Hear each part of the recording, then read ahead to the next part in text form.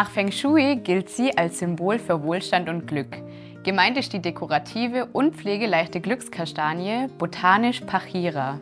Die Glückskastanie wächst aufrecht und wird bis zu zwei Meter hoch. Ihre Heimat liegt in Mittelamerika. Als Zimmerpflanze ist sie meistens mit einem dekorativ geflochtenen Stamm zu haben. Das Laub ist fünfgeteilt, kräftig grün und erinnert an Kastanienbäume. In Zimmerkultur sind Blüten sehr selten. Die Glückskastanie braucht keine direkte Sonne und fühlt sich an einem halbschattigen Standort sehr wohl. Eine normale Raumtemperatur zwischen 18 und 20 Grad ist optimal.